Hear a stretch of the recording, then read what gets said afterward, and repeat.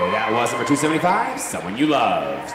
Up next is number 276 with a Team Lyrical Duo Trio. This is Ira.